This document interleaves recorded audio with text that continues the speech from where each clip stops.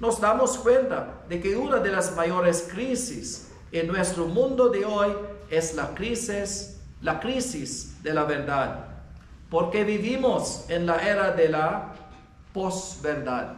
El diccionario Oxford identificó posverdad como relativa o que denota circunstancias en las que los hechos objetivos son menos influyentes en la formación de la opinión pública que las apelaciones a la emoción y a las creencias personales.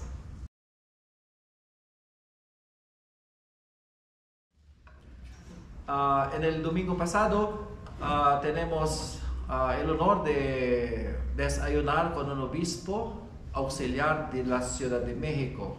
Él nos ha dicho sobre las tres mentiras mexicanas. Las tres mentiras mexicanas. ¿Ustedes saben cuáles son? La primera es, yo llego en cinco minutos.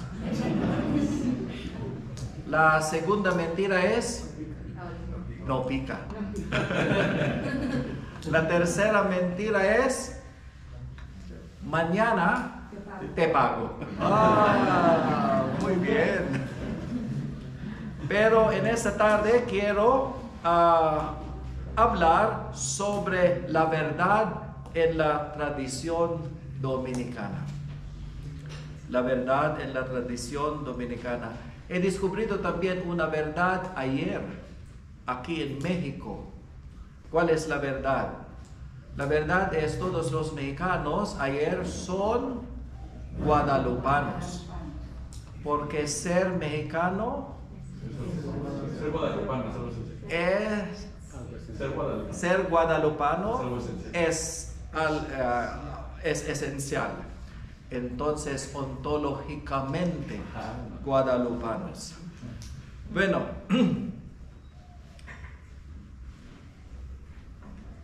en la carta de Papa Francisco, Predicator Grazie, su carta a la orden en el octavo centenario del día estatales de nuestro santo fundador, Santo Domingo de Calarvega, señaló que la unidad de la verdad y la caridad encontró quizás su mejor expresión en la escuela dominicana de Salamanca.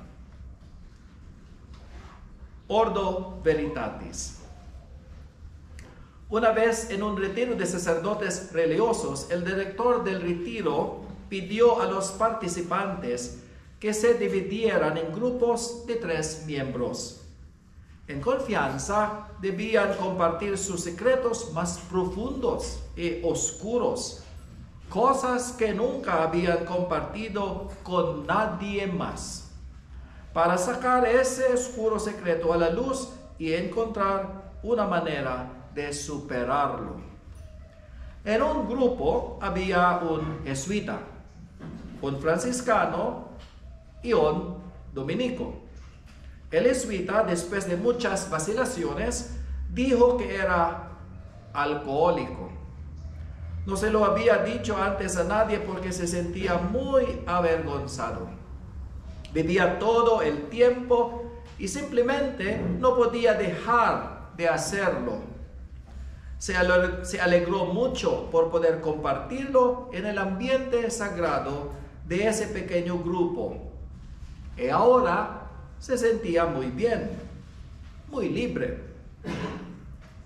El franciscano dudó, pero finalmente dijo que pensaba que podía confiar en los otros dos y que su problema era el hacer, ¿cómo se dice? Ah, que, que, jugar con sus dineros, ¿no? Había sido incapaz de controlar su impulso de jugar y apostar mucho más allá de sus posibilidades. También estaba muy avergonzado de su hábito y se sintió muy agradecido por poder compartirlo en ese contexto con sus compañeros religiosos. Era el turno del dominico. Les dijo a los otros dos que estaba agradecido por su franqueza y honestad. Dijo que estaba muy avergonzado de su propio problema. Había estado trabajando en ello durante años. Había probado la hipnosis y la terapia, pero nada, dijo, lo había ayudado a superar su propensión a decir la verdad cotillando. Entonces los, los secretos de los dos no son más secretos, ¿no? Estampada en el escudo dominicano está la palabra veritas, verdad. Pero esta verdad no es una verdad cualquiera. Puede ser que tu compañero de asiento huela mal, pero esa es no una verdad, no es una verdad que no debes proclamar al mundo entero. La verdad que proclamamos no son verdades controvertidas o escandalosas sobre la vida íntima de las personas. Tampoco es la fría y cerebral, verdad de las matemáticas y las ciencias. Más bien es la verdad que salva y libera.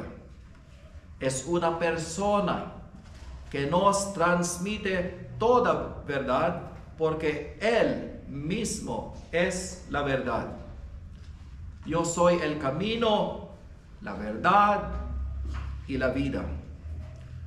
La palabra veritas que encontramos en el escudo dominicano no es realmente tan antigua como algunos suponen. Veritas se utilizó por primera vez en el escudo de la orden que aparece en la edición de, 1886 de las constituciones. Es muy reciente. Pero la asociación del término veritas con la orden tiene una larga historia. Sabemos que Santo Domingo es llamado Doctor Veritatis en la antífona o Lumen Ecclesiae, que probablemente fue compuesta entre 1235 hasta 1236, justo después de su canonización. Es, entre, es interesante notar que en el siglo XIII, la orden fundada por Domingo de Calervega se presenta como la de los guardianes de la verdad. En una carta al capítulo general de la orden en 1266, el Papa Clemente IV, utilizando la traducción de la Vulgata de Isaías, capítulo 26, versículo 2, se refirió a los frailes como gente justa que guarda la verdad. Gente justa que guarda la verdad. Custodians veritatem. veritatem. Según el cronista Fray Antonio Senensis Lusitanus, cuyo Chronicon Ordinis Fratrum Predicatorum fue publicado en París en 1585, el rey Luis de Baviera llamó a la orden dominicana Ordo Veritatis. Ordo Veritatis. En el año 1332. La orden de predicadores es la orden de la verdad que ella defiende con igual intrepidez y libertad. Quiero recordar lo que Damian Byrne fue provincial de la provincia de Santiago de México en su carta sobre el papel del estudio en la orden. Nuestro lema es la verdad. Si dijéramos que poseemos la verdad, seríamos culpables de arrogancia. Si somos conscientes de ser peregrinos en la búsqueda de la verdad, hemos comenzado a entender nuestra vocación. Santifica ellos en veritate, ser mutuos veritas est.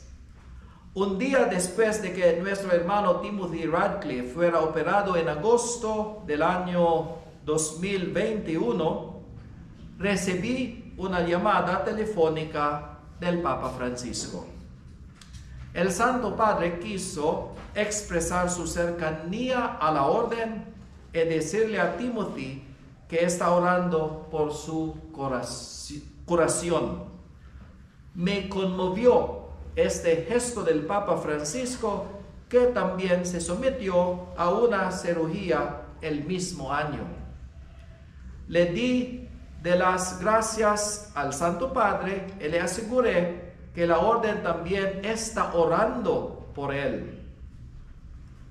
Él respondió, ah, gracias por la oración, pero la oración es in favore o in contro. Le dije, siempre en favore, Santo Padre, siempre en favore. Cuando oramos, elevamos al Señor a los seres queridos que guardamos en nuestros corazones. En el corazón de nuestra oración encontraremos a las personas más importantes para nosotros. Por lo tanto, siempre es reconfortante escuchar a la gente decirnos, estoy orando por ti. ¿Verdad? Estoy orando por ti. Y cuando la gente pide nuestras oraciones, en realidad nos están pidiendo un espacio en el corazón de nuestra oración. Es por eso que una de las partes más conmovedoras del Evangelio de Juan es la oración sacerdotal de Jesús en el capítulo 17 donde escuchamos a Jesús orar. No solo por ellos ruego, sino también por los que crean en mí por la palabra de ellos, para que todos sean uno, como tu Padre en mí y yo en ti, que ellos también sean uno en nosotros, para que el mundo crea que tú me has enviado. Es verdaderamente edificante y alentador descubrir que estamos en el corazón de la oración de Jesús.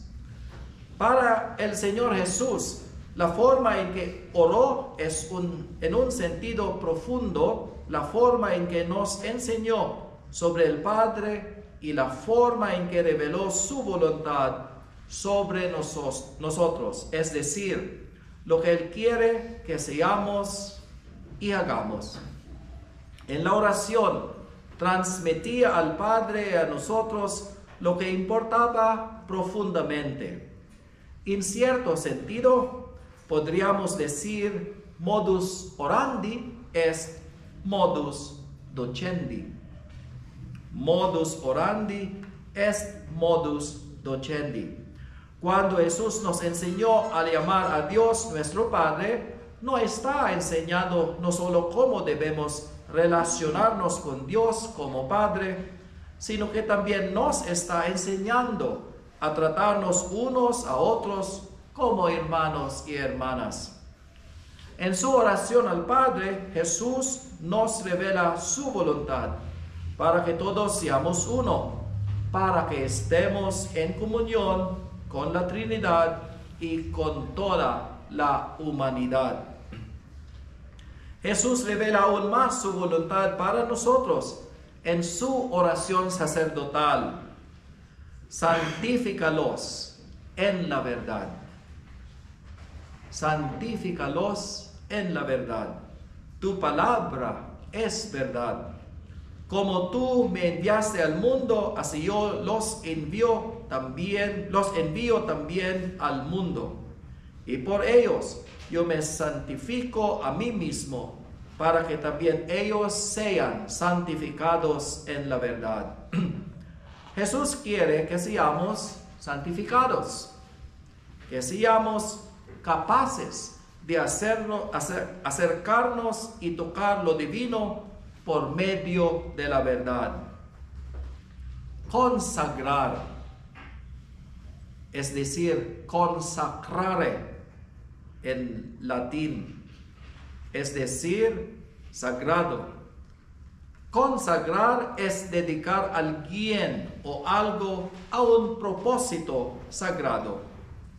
En su homilía en la fiesta de Santo Tomás, en el Angelicum de Roma, el Papa Benedicto, cuando todavía era el cardenal Joseph Ratzinger, dijo, consagrar significa hacer que este ser humano, esa criatura pobre y finita, pueda entrar en contacto con Dios en su inmensa gloria.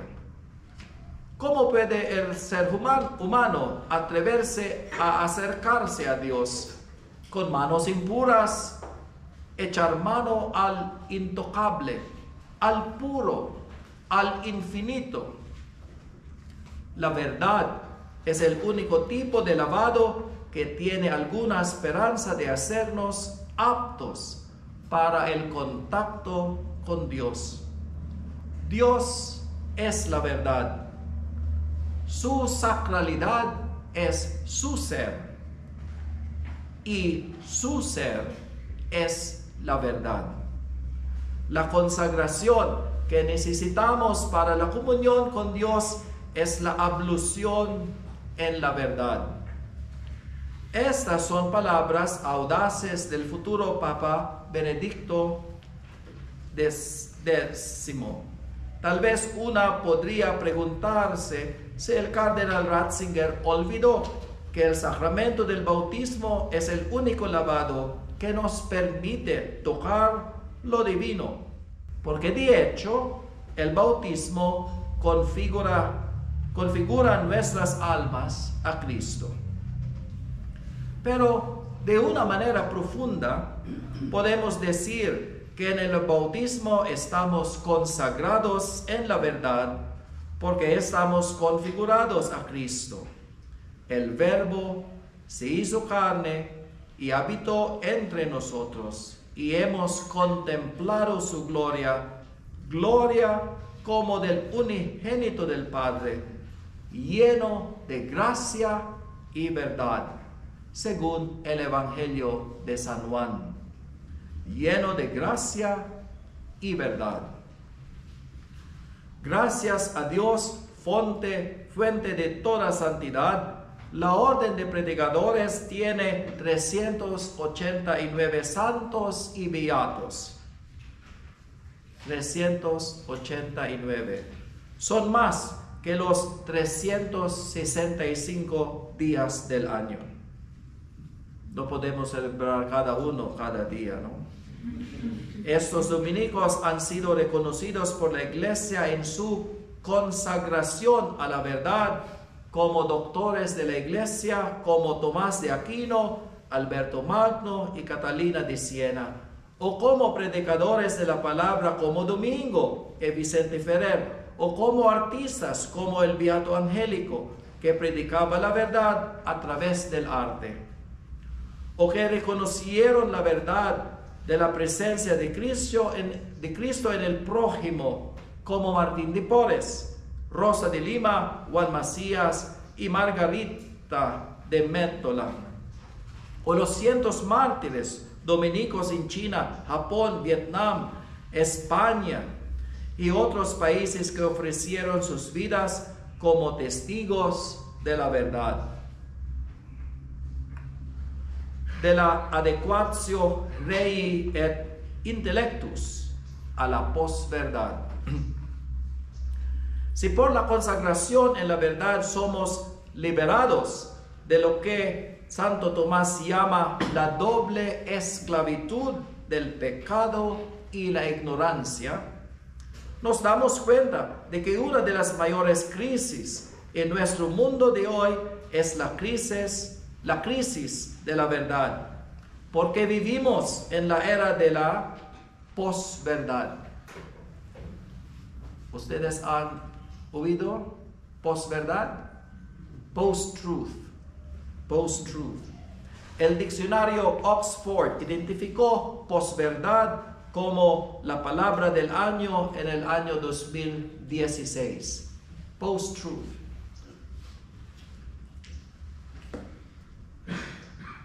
Definiéndola como relativa o que denota circunstancias en las que los hechos objetivos son menos influyentes en la formación de la opinión pública que las apelaciones a la emoción y a las creencias personales. En la misma página web, el diccionario Oxford explica más. La palabra compuesta posverdad ejemplifica una ampliación en el significado del prefijo post que se ha vuelto cada vez más frecuente en los, en los últimos años. En lugar de simplemente referirse al tiempo después de una situación o evento específico como en posguerra, el prefijo en posverdad tiene un significado más parecido a perteneciente a un tiempo en el que el concepto especificado se ha vuelto poco importante o irrelevante. Este matiz parece haberse originado a mediados del siglo XX en términos como post-national y post-racial. Es en este sentido en el que la palabra post-christian, post-cristiano, se utiliza en las sociedades altamente secularizadas, secularizadas de hoy, post-Christian. El Pew Research Center realizó un estudio después de las elecciones estadounidenses de 2016 en el que descubrieron que el 64% de los adultos cree que las noticias falsas causan una gran confusión. El 23% dijo haber compartido algunas veces historias políticas inventadas por ellos mismos. Se puede ver cómo la votación sobre el Brexit o las elecciones estadounidenses en el año 2016 eh, y 2020 se han visto afectadas por la política de la posverdad. Las economías también se ven afectadas negativamente por la posverdad. En el mismo informe, Pew Research señaló que el valor de mercado de la criptomoneda Ethereum cayó en 4 mil millones de dólares en junio de, 2017, después de que noticias falsas informaran de que Vitalik Buterin, fundador de Ethereum, había muerto en un accidente automovilístico. Posverdad. Falsas noticias. Ciertamente, nuestro mundo es muy diferente del mundo de la pre modernidad. Por ejemplo, Santo Tomás de Aquino define la verdad como, ¿cómo se define a los frailes estudiantes? ¿Cómo se define la verdad según Santo Tomás de Aquino? Adecuatios, intelectos et rei. Muy bien, muy bien. Se define la verdad como la adecuación del intelecto y el objeto. Adecuatio rei et intellectus. Correspondencia entre lo que se piensa y lo que es. Aldo Tassi escribió que si pensamos en un mundo premoderno, encontramos que está dominado por una preocupación por la naturaleza de las cosas la actitud predominante es que la realidad de las cosas está constituida de tal manera que plantea exigencias cognitivas y morales al hombre. La verdad es entender la realidad en sus propios términos. Para conocer es necesario que eliminemos los obstáculos que impiden que la naturaleza de las cosas se comunique con nosotros. Conocer las cosas, por tanto, adecuarnos a lo que las cosas son. ¿Es claro o no? Por ejemplo, Michelangelo, Miguel Ángel, explica que la forma en que esculpe los ángeles es quitando del mármol que tiene delante todo lo que no es un ángel. Así también, el científico explica que llega a conocer la naturaleza de algo cuando separa de lo que tiene delante todo lo que no entra en lo que la cosa es específicamente. Hacer filosofía en este contexto es una cuestión de estar dominado por una preocupación por la verdad, un deseo de hacer justicia a las cosas en sus propios términos. La premodernidad da prioridad a la verdad. En la modernidad, en cambio, esta preocupación por una realidad que nos plantea exigencias desaparece y comienza a surgir una nueva preocupación, a saber, una preocupación por una realidad que tiene como referencia los proyectos humanos.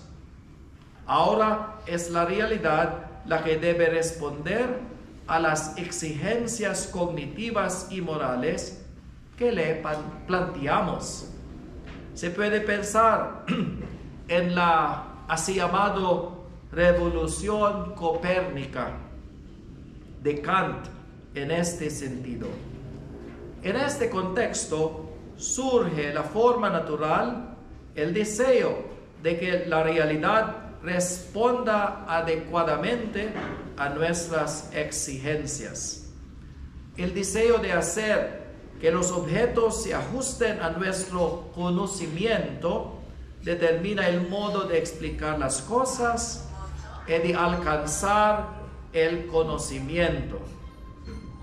Para conocer es necesario que introduzcamos las condiciones que nos permitan comprometernos con la realidad de manera que nuestra experiencia presente sea coherente no solo con las experiencias pasadas, sino también, y más importante, con las futuras. Conocer las cosas, entonces, es hacerlas adecuadas a nuestros proyectos. Es decir, tratarlas en términos que nos permitan hacer predicciones sobre ellas y por lo tanto hacerlas susceptibles a nuestro control. En otras palabras, la mente premoderna trata de entender la realidad. Res alius. Res alius. Realidad, res alius la cosa que no es como la mía mente, una cosa distinta de la mente. Por ejemplo, uno trata de entender el ritmo de la naturaleza y se ajusta a él. El ciclo de las estaciones determina para el hombre sus actividades agrícolas, cuándo plantar y cuándo cosechar. Inventa seguro, pero en armonía con la realidad. Entiende la realidad en los propios términos de la naturaleza, es decir, centrado en el objeto. En cambio, la mente moderna trata de entender la realidad de acuerdo con los propios términos de la persona, del conocedor. Conoce el ritmo de la naturaleza y trata de ajustar el ritmo de la naturaleza para que se adapte a él, para que le sea útil. Puede dedicarse a la, a la agricultura en el desierto o durante el invierno porque puede crear las condiciones que descubrió en la naturaleza. Es claro, ¿no? Premodernidad, ajustamos. Modernidad, la naturaleza ajusta a nosotros. En la modernidad, por otro lado, nuestro conocimiento del mundo depende de nosotros, en el sentido de que desempeñamos el papel determinante que constituye la posibilidad misma del conocimiento. Es por la forma de ser y no por la forma de ser de las cosas que nos es posible tener el conocimiento que tenemos. Lo característicamente moderno entonces aparece como un antropocentrismo profundo. El centro de la modernidad es yo. El centro de premodernidad es el objeto. Entonces hay una revolución copérnica. Misericordia et veritatis obviaverunt sibi, justitia et pax osculate sunt.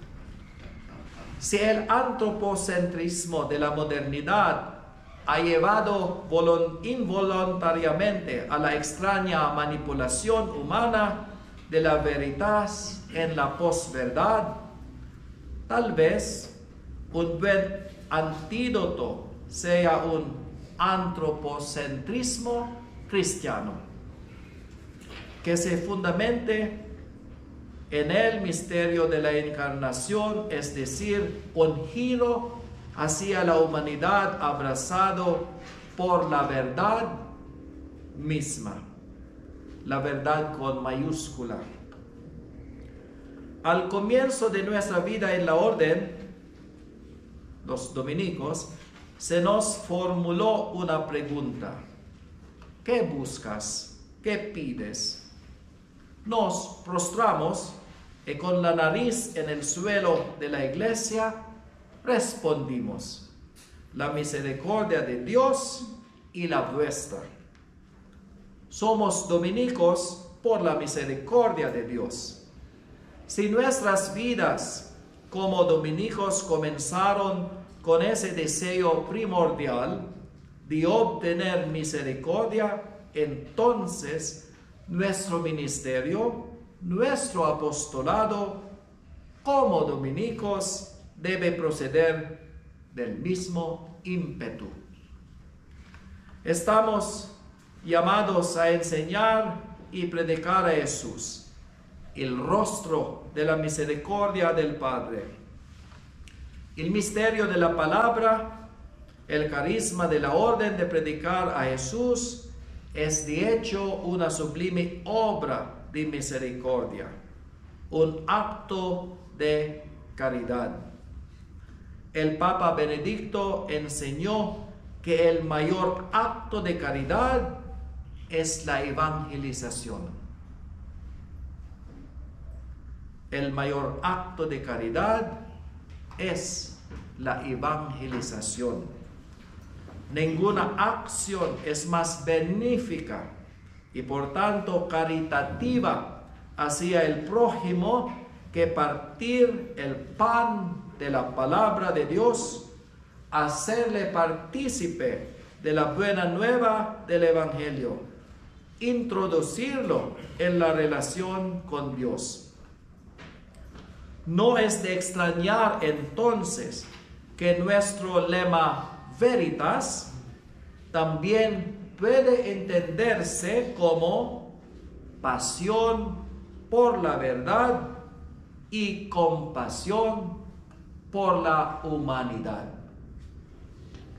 El Papa Francisco describió a los buenos teólogos como similares a los buenos pastores que huelen como la gente, que llevan el olor del rebaño de Dios, huelen a oveja, y que con su reflexión vierten aceite y vino sobre las heridas de la gente.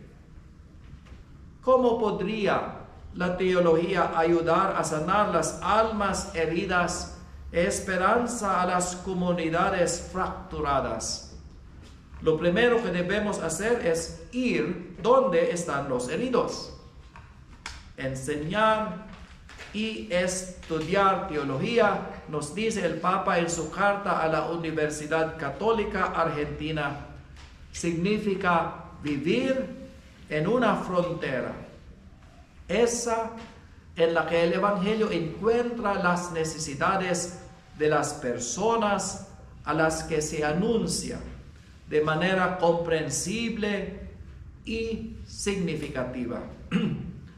Tomás de Aquino se situó en esta frontera cuando se comprometió creativamente con el pensamiento aristotélico y árabe.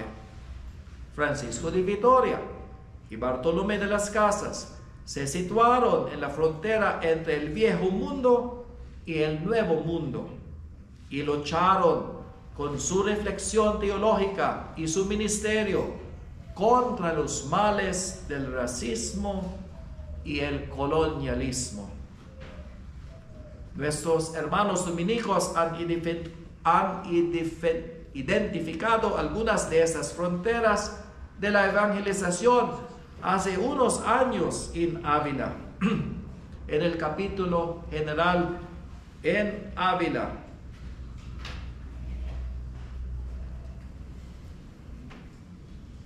en el año 1986, ¿no?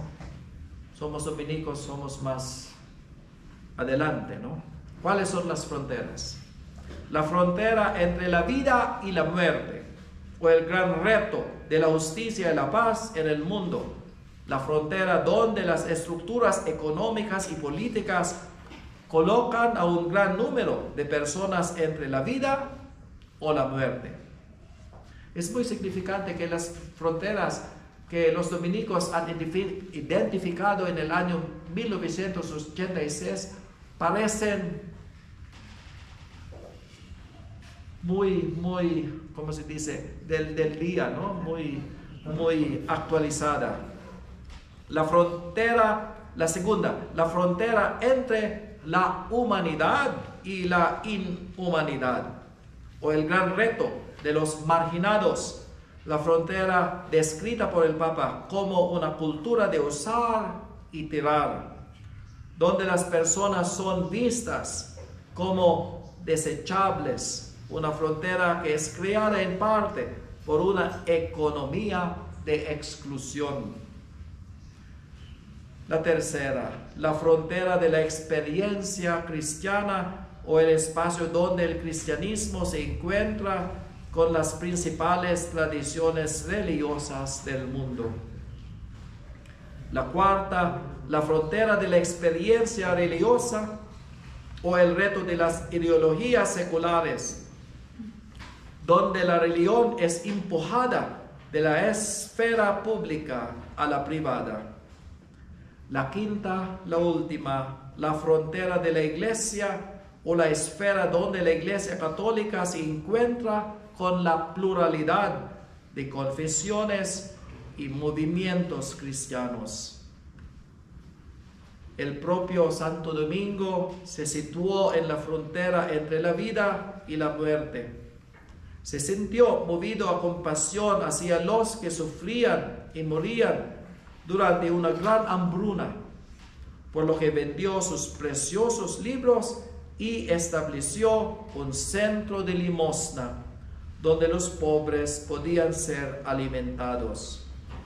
Su bondad ejemplar inspiró a otros a hacer lo mismo.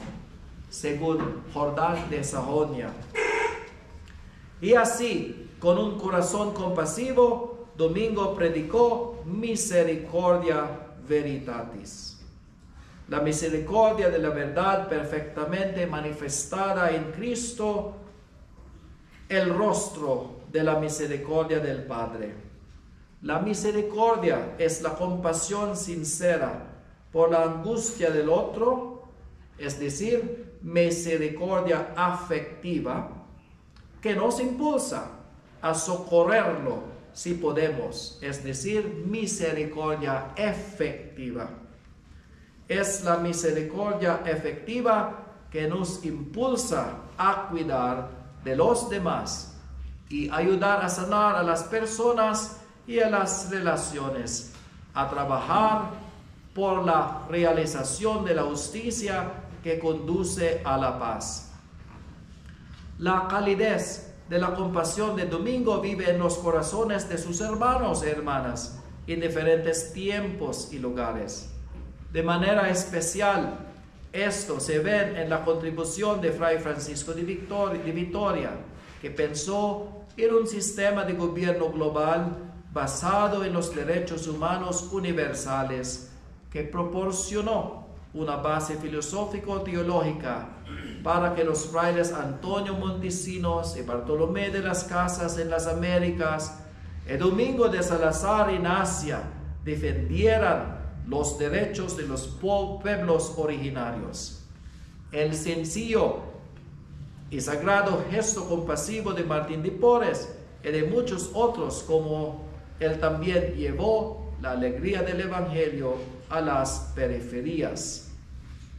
En nuestro tiempo, no necesitamos ir muy lejos para situarnos en alguna de esas fronteras que a menudo se cruzan entre sí.